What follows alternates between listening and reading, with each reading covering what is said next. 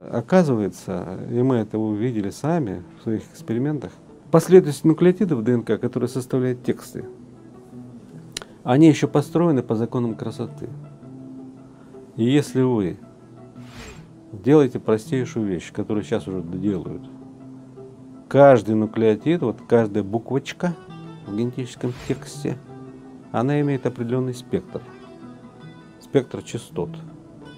Если ты эти частоты, вот всего четыре буквы ДНК, аденин, гуанин, цитозин, тимин, если ты их перевел сказать, на частоты человеческой речи, на килогерцовый диапазон, и ты начинаешь проигрывать, так сказать, молекулу ДНК как, как нотный стан, как э, нотную запись, то, то ты слышишь музыку.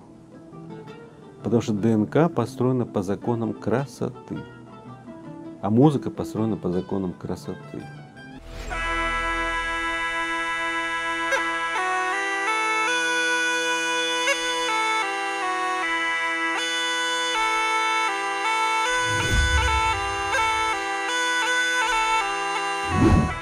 С работами Петра Петровича Горяева я знаком где-то с середины 90-х годов, потому что он участвовал в работе наших международных конференций, и с ним контактировал значит, мой научный руководитель Анатолий Павлович Смирнов, который вот 6 лет назад скончался. Значит, что можно сказать о работах Петра Петровича Горяева? Это, конечно, неординарные работы, работы очень важные для биологии и медицины, но, к сожалению, он затронул ряд запретных тем и в биологии, и в медицине, и даже в физике. Ну, и вот об этом я расскажу прежде всего как физик. Я не буду касаться теоретических представлений Горяева. Он сам говорит об этом очень осторожно, предположительно. Главное – его экспериментальные работы – вот что показали работы Горяева? Что генетическая информация передается волновым способом.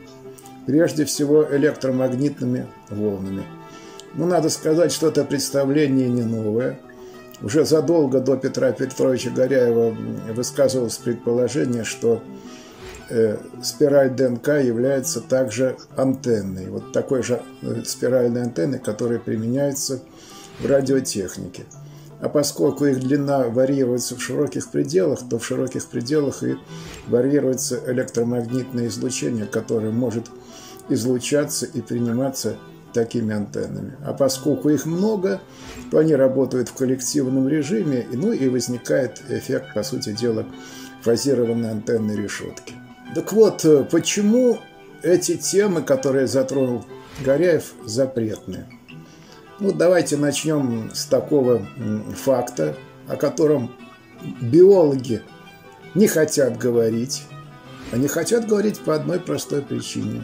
Непонятно, почему так происходит.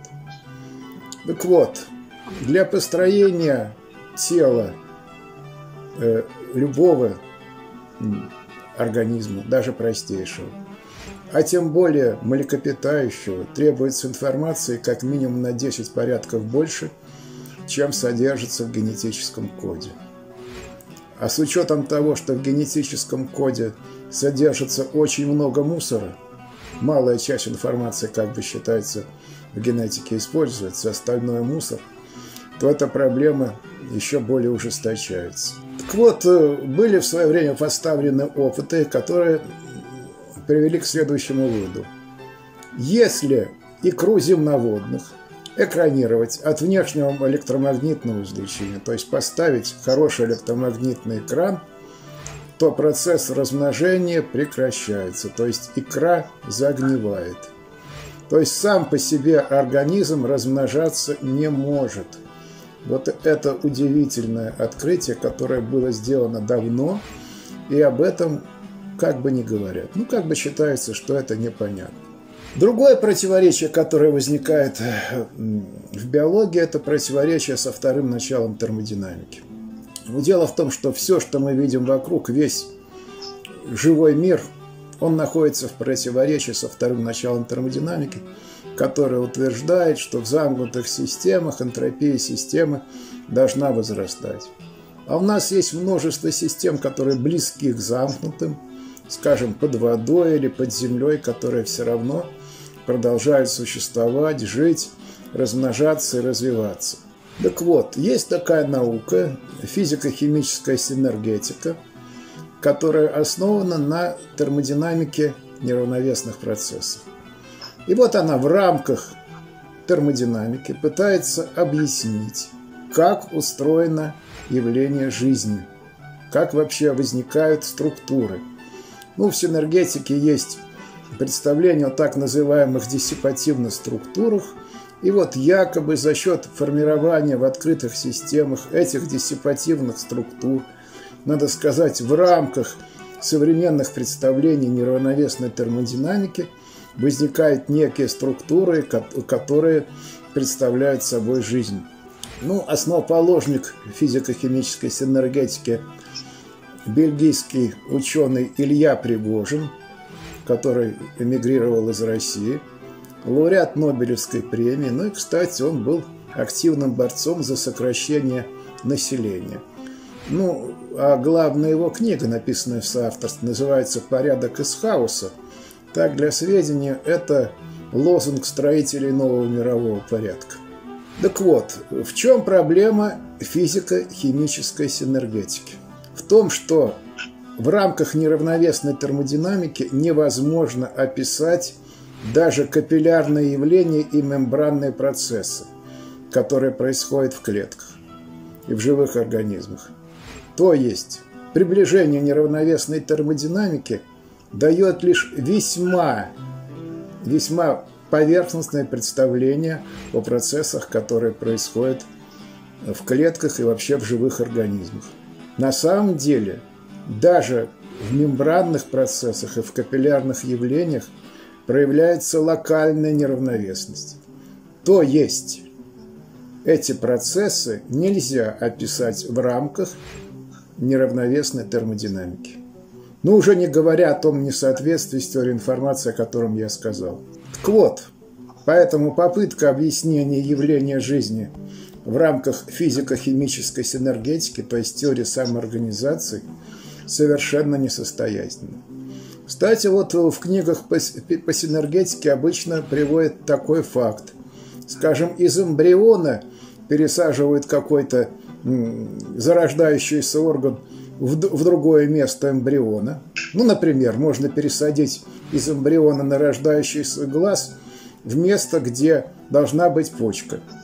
Казалось бы, на этом месте должен вырасти глаз, но вырастает почка. То есть в этих структурах уже содержится информация, как и чему расти. Вот вопрос, где и как содержится эта информация. Следующее, что затрагивал Петр Петрович Горяев, это так называемые передач, эффекты передачи информации, которые проявляются в телепатии и сновидении. Вы, наверное, знаете, что у нас были опыты академика Казначеева с сотрудниками по передаче информации с помощью так называемых кар карт Зеннера. То есть образы можно действительно передавать на расстоянии. Широко известен так называемый эффект сотой обезьяны, когда вот макаки на одном острове мыли батат, а на другом острове через какое-то время все это повторялось. Ну, также, по-видимому, с этим эффектом связано и множество открытий, которые совершались учеными примерно в одно и то же время э, в разных районах Земли. Тогда еще интернета не было, вот такой мгновенной связи не было, а между тем многие открытия возникали практически одновременно. То есть существует некое общее информационное поле. Э, кроме того, широко известны такие явления, как мать, э, скажем, чувствует смерть сына на большом расстоянии. Тоже это все хорошо известно. Ну, а в Средневековье существовала так называемая улиточная почта. К сожалению, сейчас вот об этой улиточной почте в Википедии ничего не пишется. Пишется, что улиточная почта – это такое переносное выражение, которое означает, что почта идет очень медленно. А в Средневековье делали следующее. Брали колонию улиток, разделяли эту колонию. Одну колонию переносили в другой город, а с прежней колонией улиток проводили какие-то опыты, например, там переворачивали улиток, делали какие-то действия над ними, и эти действия передавались в другой город. То есть существует связь между улитками, между колониями улиток практически мгновенная. К сожалению, вот э, об этом факте сейчас в Википедии уже не пишут. А если ты туда ввел вот неправильные, так сказать, а, последствия нуклеотидов за счет вот трансгенных вот манипуляций, то возникает какофония. Понимаете? Какофония, которая убивает людей. Сейчас на Западе, особенно в Соединенных Штатах, продают просто... Это целая индустрия, когда продают музыку генов. Вот их, так сказать, привязали к нотным знакам, так как я вам сказал, за счет частот. Более того, белки то же самое. Белки это копия ДНК, только как бы на другой, переведенная на другой язык. Белки тоже издают музыку. Если правильный белок, он будет давать правильную, хорошую мелодию. Э, существует такое явление, которое затрагивал Петр Петрович, как э, квантовая телепортация. Ну, тут вообще беда, беда физики, не только в биологии.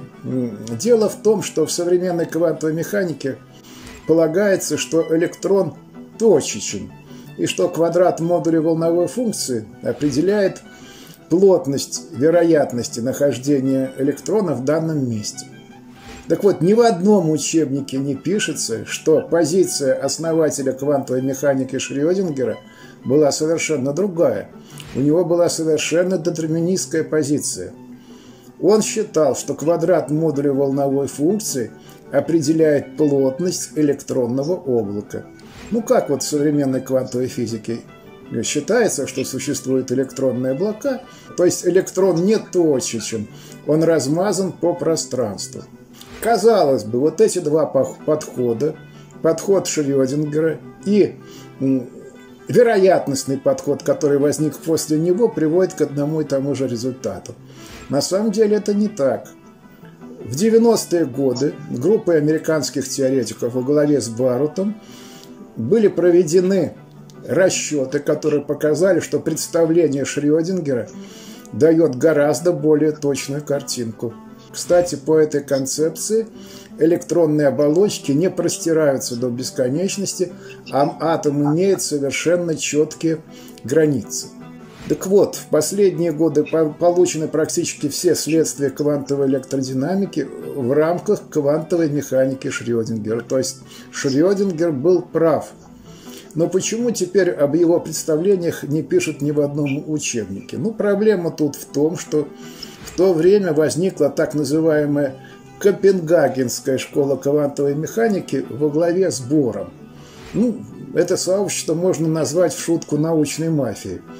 Бор говорил Шрёдингеру, если вы не перейдете на нашу вероятностную точку зрения, вот о точечном электроне, вы перестанете для нас существовать. Так и произошло. Шрёдингеру не позволили публиковаться в крупнейших научных журналах. И Шрёдингер, опубликовав несколько фундаментальных работ по квантовой механике, о которых сейчас практически совершенно неизвестно, ушел из большой физики. А в частности, Швезингер показал, что такое корпускулярно-волновой дуализм.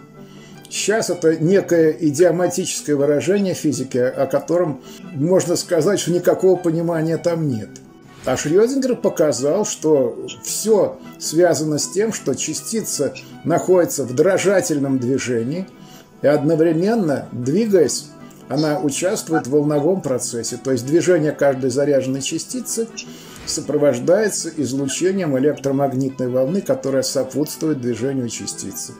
Ну и в этом проявляется явление интерференции и дифракции микрочастиц. То есть очень простое представление, которое приводит к совершенно правильным результатам и какого нет в современных учебниках. Все это занимается вот тем самым идиоматическим выражением корпускулярно-волновой дуализм. Шрёдингер написал затем книгу «Что такое жизнь с точки зрения физики. Ну, с нашей точки зрения, книга довольно наивная, потому что уровень знания был в биологии тогда маленький. Но вот что совершенно правильно указал Шрёдингер, что статистический подход, подход, который принят в физике, совершенно не может объяснить явление в жизни. Требуется динамический подход. И вот в 90-е годы 20 века у нас в Институте общей физики были поставлены численные эксперименты методом динамики многих частиц, которые показали, что если ввести взаимодействие между частицами, их поведение не удовлетворяет второму началу термодинамики. То есть второе начало термодинамики не является универсальным физическим принципом, но справедливо для невзаимодействующих или малых взаимодействующих частиц. То есть вот физике возникла своего рода мафия. А мафия – это семья, объединенная на основе какой-то национальности или какого-то культа. Вот мало кто знает, что э, название мафия произошло от итальянских фамилий Мацини, Аталини и так далее. А Мацини был один, одним из главных масонов Европы. Он переписывался с Альбертом Пайком, черным папой масонства, который жил в США. И они обсуждали программу трех мировых войн и революцию в России. Представляете, кто были основатели мафии? Но в дальнейшем в эту мафию вошли и католики, и из фильма «Крестный отец», например, мы знаем, что у этих мафиози были даже какие-то нравственные критерии, кодекс чести, но изначально вот это масонство было основано на культе Бафомета. То есть это были настоящие сатанисты. Так вот, Бор – это э, выходец из банковской семьи, это масон – и, кстати, по своему рангу в физике и в науке он был главнее Эйнштейна, потому что он вышел из банковской элиты, в отличие от Эйнштейна. И он все время говорил Эйнштейну, прекратите говорить о Боге. А Эйнштейн все время говорил, что Бог не играет в кости, вот разбирая квантовую механику. А Бор ему говорил, Эйнштейн, не указывайте Богу, во что играть, он лучше вас знает, что делать. Вот так, э, значит, Копенгагенская школа отнеслась к Эйнштейну. Значит, даже Эйнштейн не помог э, навести там значит, порядок и значит, какое-то понимание. Так вот, на чем строилась эта Боровская школа? На спонсорстве, а спонсорство, а спонсорство шло от банкиров, потому что сам Бор и его сотрудники были выходцами из банковской сферы. Кстати, вот Ландау, Лев Давидович Ландау был командирован к Бору, тоже был, была ему от банкиров назначена специальная стипендия. Не просто так, потому что э, Ландау был сыном управляющего нефтяным бизнесом в Баку. То есть он, по сути дела, представлял интересы Ротшильда в Баку. Вот непростой человек. Ну, а школа Ландау в Советском Союзе после стажировки там Ландау в Копенгагене практически стала филиалом школы Бора и строилась по такому же признаку.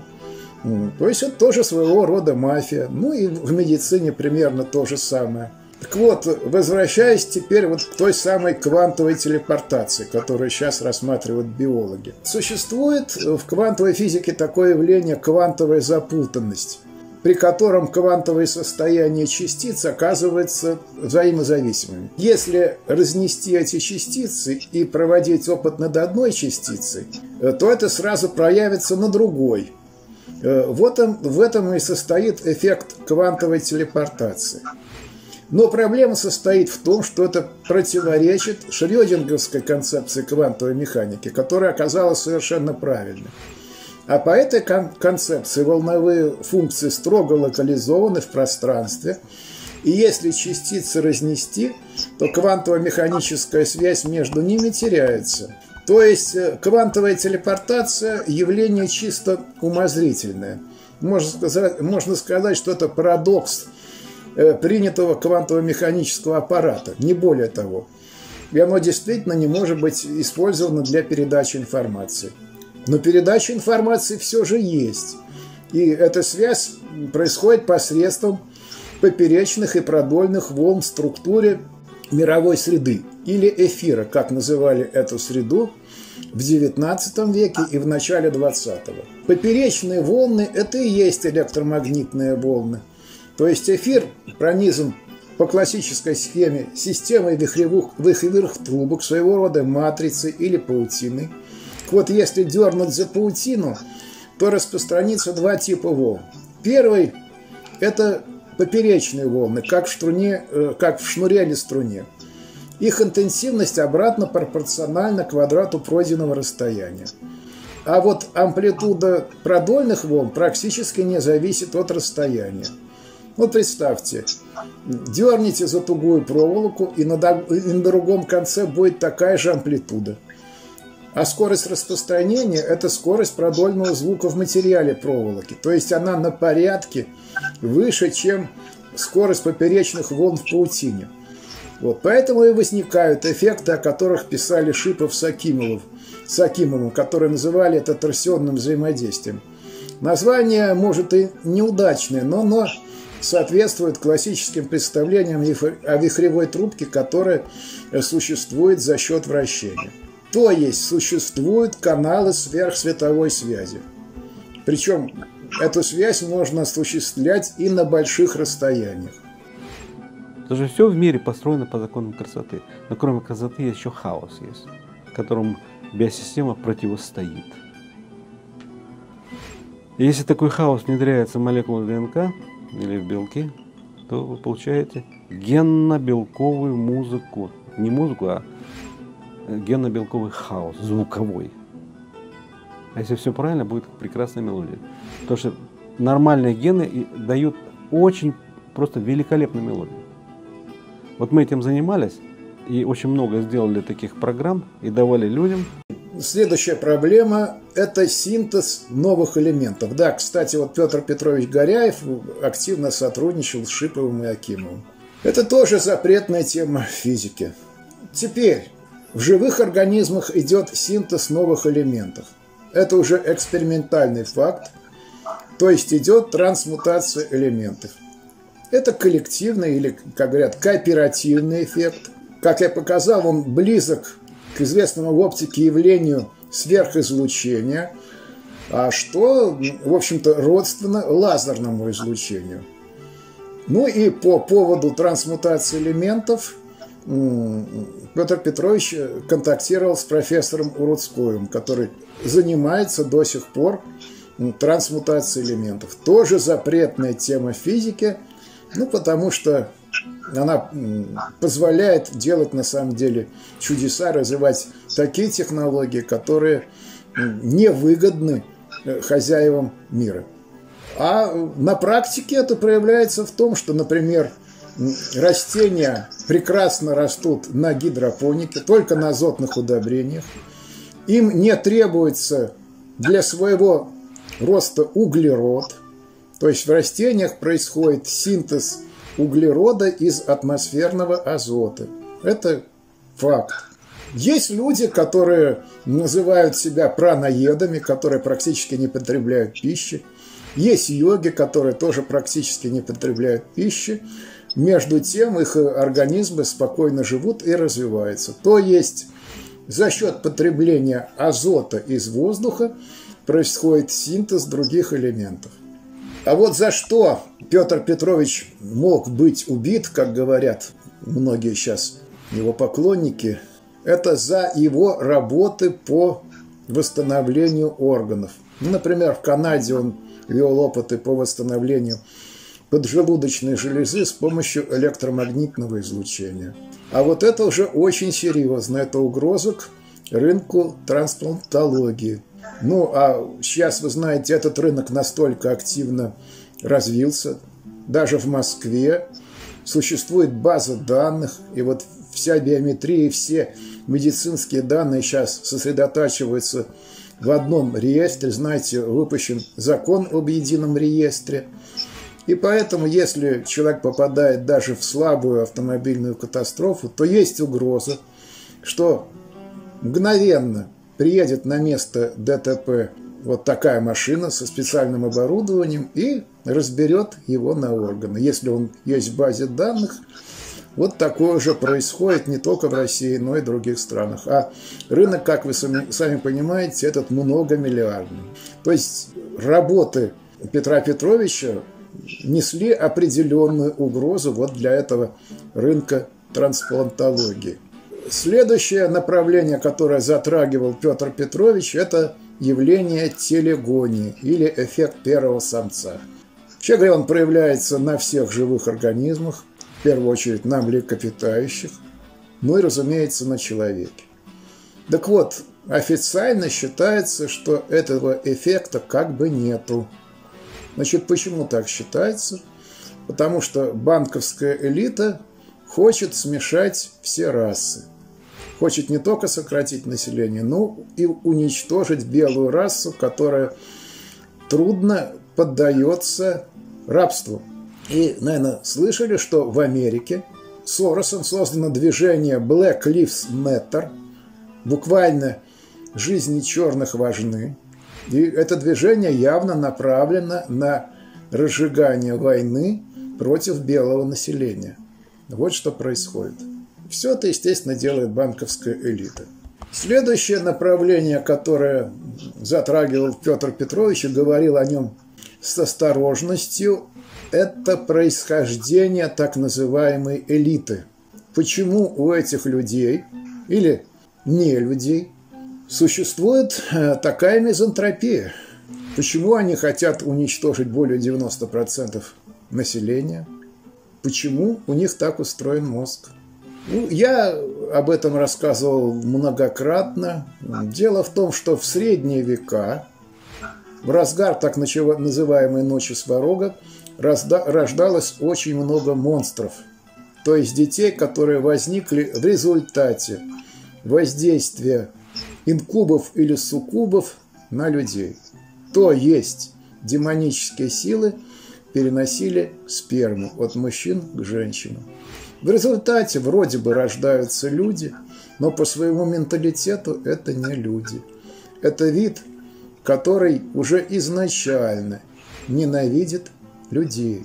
То есть это не люди в человеческом обличии. Тема очень скользкая, надо о ней говорить осторожно, но надо понимать, откуда у нас происходит вот такая мизотропия, такое человеконенавидчество. То есть все это имеет генетическую природу на самом деле. Потому что ну, ни один нормальный человек не будет писать такие книги и такие программы, которые написаны этой самой элитой. Ну, а такие э, контакты происходят в результате сатанинских ритуалов. То есть сатанинские ритуалы отражаются на генетике этих людей. Ну, а что касается вот тех монстров, которые были в Средневековье, оказалось, что это, таких монстров можно делать и сейчас. А если помните, этим давно занимался доктор Каньжень, который до сих пор работает в Хабаровске. Он вот создавал гибриды, скажем, гибриды куры и утки. Ну, естественно, на, людях он опыта не проводил. То есть можно создавать с помощью электромагнитного излучения, идущего от одного организма к другому, значит, развивающемуся зародышу, вот такую информацию с помощью электромагнитного поля, что приводит э, к рождению монстров.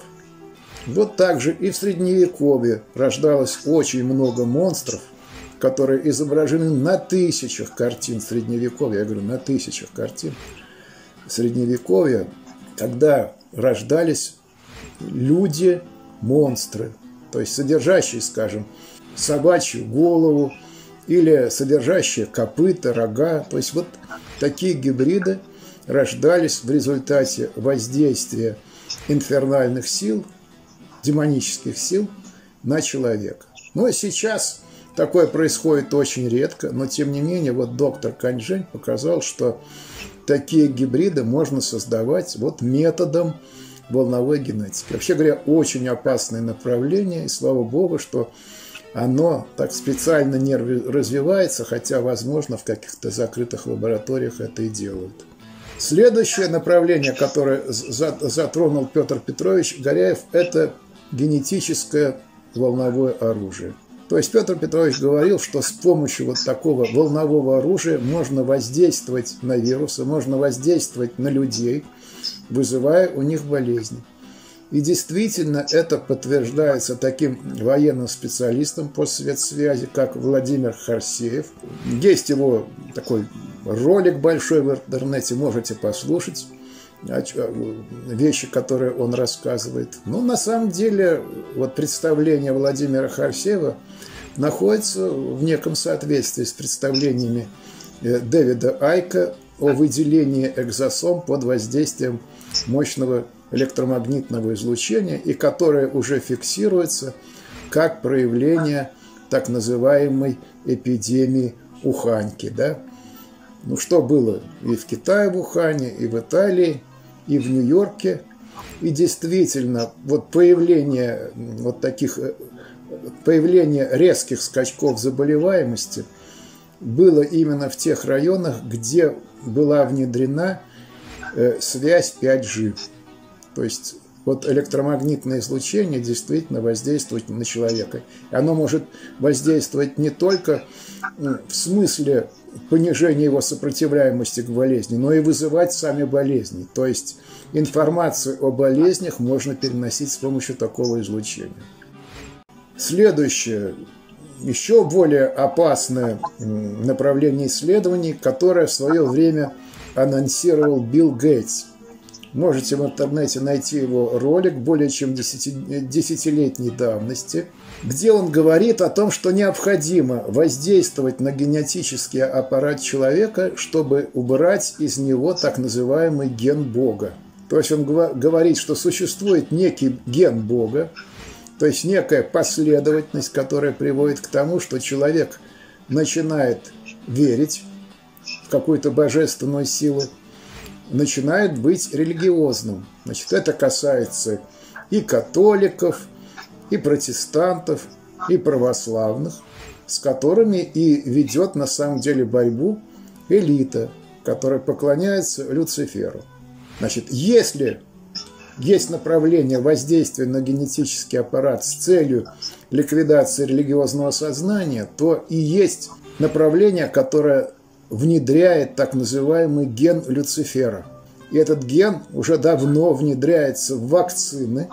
Кто-то может в это не верить, но посмотрите, есть выступления, старые выступления в интернете специалистов, которые говорят, что в биологических лабораториях давно проводят оккультные опыты, то есть по воздействию демонических сил на генетический аппарат, то есть по воздействию демонических сил на зародыш. И таким образом имеется вот такое направление по внедрению гена Люцифера в вакцины и тем самым в генетический аппарат человека. То есть надо отвратить людей от Бога и привести их к Люциферу. Ну, кстати, э, при возникновении эпидемии чумы в Средневековье также работали оккультисты, которые с помощью оккультных процедур, как они считали, усиливали эту эпидемию. Следующее. Петр Петрович занимался не только прорывными биологическими направлениями, но и перспективными медицинскими технологиями. Естественно, внедрению таких технологий препятствует медицинская мафия, которая связана с банковской элитой. Так вот, э, каков прогноз на то, что работы Петра Петровича будут использованы в медицине и биологии? И вот если э, мы не дадим разрушить наше государство и будем действительно развивать науку, в том числе медицину и биологию, то исследования Петра Петровича будут не только использованы, но и приведут к революции в медицине, будут способствовать продлению жизни человека, излечению многих смертельных болезней, ну и приведут к многим другим положительным эффектам. Скажем, в сельском хозяйстве можно использовать эти технологии также для повышения урожайности. Я думаю, что э, э, главная мотивация Петра Петровича и других многих честных и выдающихся исследователей – это, конечно, любовь к делу, которым они занимались любовь к науке, интерес к науке, ну и желание принести пользу людям, принести пользу государству. К сожалению, видите, у современной элиты задачи прямо противоположные. Вот здесь скрестились интересы э, Петра Петровича Горяева и международной банковской и научной мафии.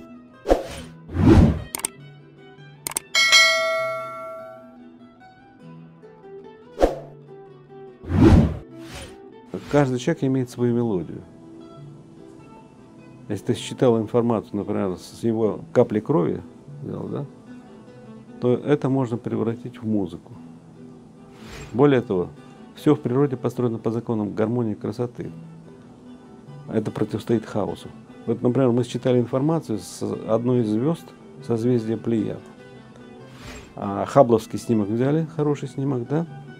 Взяли яр, наиболее яркую звезду на фотографии, и эту фотографию считали лазером, проецируя, так сказать, лазерный пучок на звезду. По определенному алгоритму получили музыку. Музыка была потрясающая. Я показывал композиторам. Это неземная какая-то фантастическая музыка.